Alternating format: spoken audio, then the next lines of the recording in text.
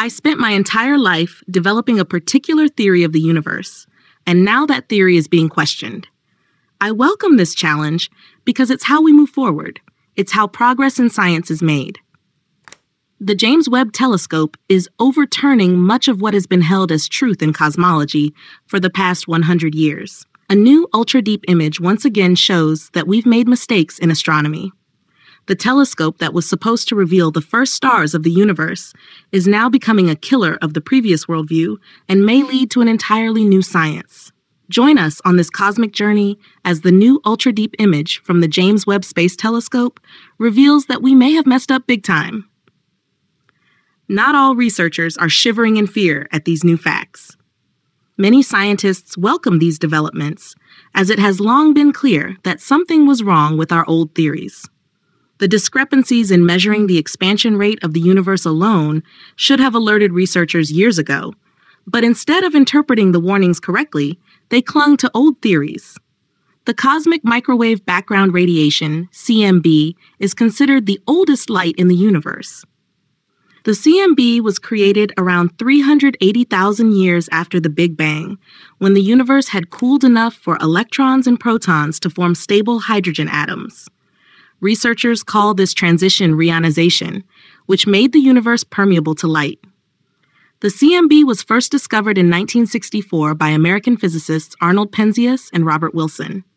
While working on a new type of antenna technology, they encountered constant noise coming from every direction in the sky. This discovery was long regarded as one of the strongest pieces of evidence for the Big Bang Theory. Penzias and Wilson shared a Nobel Prize and went down in the history of astrophysics. The CMB likely offers a snapshot of the young universe. Tiny temperature fluctuations provide important information about the conditions of the universe shortly after the Big Bang. Scientists use the CMB as a reliable imprint of the basic metrics of the material cosmos to measure the expansion rate of the universe, among other things. Astronomer Edwin Hubble had already made this calculation in the late 1920s. Hubble discovered that distant galaxies move away from us in all directions and that their speed is proportional to their distance. Today, we know these observations as the Hubble law or the Hubble constant. Of course, Hubble did not have the advanced measuring techniques we have now.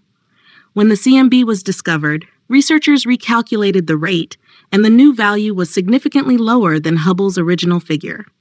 Later, scientists recalculated the rate again using Type 1 supernovae as standard candles. Astronomers had such stable light available that it could be used as a reliable measuring point. Distance is calculated with standard candles by comparing the observed brightness with their actual luminosity. Measurements from the CMB yielded an expansion rate of about 67 kilometers per megaparsec, while measurements using supernovae yielded about 74 kilometers per, per megaparsec.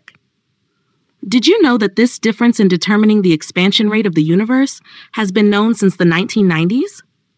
Since then, researchers have suspected that something might be wrong with the assessment of the CMB, the measurement methods, or the idea of the expansion of the universe. The discrepancy between the various measured values of the expansion rate is known in science as the S8 tension, or Hubble tension. The implications of this tension are not just minor differences in measurement. These different results show that our understanding of the universe may be fundamentally flawed. For a long time, researchers were at a loss. Since the James Webb Space Telescope went into service, it has given scientists some surprises that may now shed light on the problem of the universe's expansion rate. Galaxies so old and mature that their formation theoretically predates the Big Bang are completely overturning old science in astrophysics. There is no longer talk of discrepancies or differences in measurement, researchers are now discussing the biggest crisis in modern astronomy. Not only could the rate of expansion of the universe be wrong, but the whole idea of expansion or the Big Bang is also being put to the test. Webb's images provide evidence of a universe that is very different from what we have long believed. The S8 tension was the first warning, and researchers who still believe in the old theories now face a significant challenge do we really know nothing about the universe? Today, many scientists are standing on the ruins of their life's work. They look into space in horror, no longer understanding what they are seeing. In light of this crisis in science, we must ask ourselves what do we really know about the universe? To answer this question, we need to understand how science works. Theoretical scientists use a complex web of mathematical models, empirical data, and deductive reasoning to draw conclusions from the general to the specific.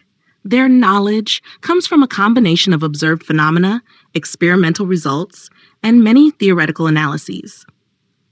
The word theory alone shows that these are constructs and ideas, not absolute truths. The only practical knowledge we have are the images provided by telescopes, the sounds, waves, and radiation captured by radio telescopes, and the latest data from neutrino measuring systems or gravitational wave detectors. With the James Webb Space Telescope, we now have an instrument that allows us, for the first time, to break down the oldest light into individual frequencies and analyze it in ways previously impossible. Webb can reveal which elements were predominant in galaxies over 13 billion years ago, the amount of mass they contained, and what this indicates about the number of stars. The telescope can even reconstruct the shape and movement of galaxies. However, Webb does have some limitations. For instance, in some images, the telescope cannot definitively determine whether we are observing galaxies or black holes that shine as brightly as galaxies due to their massive accretion disks. We must acknowledge that our science has evolved in ways that have accepted too many possibilities as truths while disregarding alternative explanations. For a long time, research has been confident in its correctness. The latest findings from the James Webb Telescope offer important clues that may lead to replacing old theories with new truths, as has happened many times in science. Scientists are currently in a state of anticipation. The new discoveries are so extraordinary that many researchers find it difficult to propose new explanations. These findings are shaking the foundations of our physics, and this is causing concern among researchers. Today's teachings of physics are still largely based on Isaac Newton's work from the 17th century. For centuries, his laws of motion and gravity formed the foundation of our physical understanding of the real world, including the universe. Newton's laws explain the motion of objects under everyday conditions and work quite well on Earth. However, in space, his ideas had to be expanded, and this was largely accomplished by Albert Einstein at the beginning of the 20th century. Einstein's special theory of relativity, published in 1905, revolutionized our understanding of space and time. He proved that space and time are relative to each other and depend on the observer's movement. The general theory of relativity followed in 1915, providing mathematical proofs of gravitational phenomena based on the curvature of spacetime by masses such as stars or galaxies. While Einstein's laws and ideas are coherent in many areas, they too have limitations. Einstein himself knew during his lifetime that his theories would never be sufficient to describe the universe as a whole. He dreamed of finding a world formula, but he did not succeed. To this day, no other researcher has succeeded either. Where's the mistake? Wouldn't it be interesting to know where the error lies? Michio Kaku, the popular astrophysicist from the USA, stated in an interview that the person who solves this problem is almost certain to win a Nobel Prize. So, what facts might scientists have overlooked? Where could they have misinterpreted phenomena? Or is there a possibility that our telescopes are to blame? At the top of the list of suspects for the real causes of the cosmological crisis are dark matter and dark energy. Our current models of the universe suggest that dark matter and dark energy together make up about 95% of the universe. However, neither has ever been directly observed, and consequently, their real existence has never been proven. It's possible they don't exist at all, which would require us to explain the expansion of the universe and the dynamics of galaxies differently. Alternatively, both may have properties we have yet to discover, one idea currently under discussion is that the physical properties of these two dark components have changed over time, which could even imply that we are dealing with some form of intelligence. Next to be scrutinized is gravity. This force, which supposedly leads to attraction through mass or the curvature of spacetime by mass, has not been definitively proven. The concepts of spacetime curvature largely originate from Einstein and have been validated many times over. However, we cannot rule out the possibility that gravity has completely different properties than we have assumed, or that a different effect is responsible for the gravitational pull on and between objects. Over the decades, several values have been established in cosmology and astrophysics as so called cosmic constants. These values are considered largely reliable because they hardly change.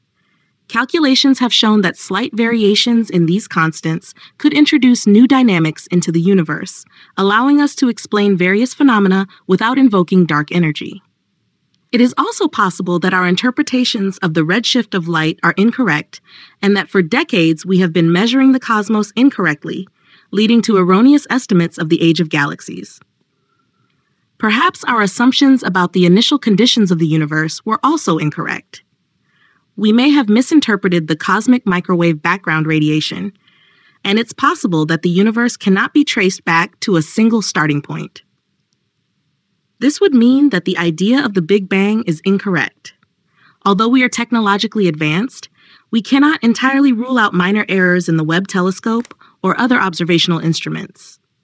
Engineers and scientists acknowledge that errors in instrumentation, data processing, or interpretation are always a possibility in the face of such a crisis.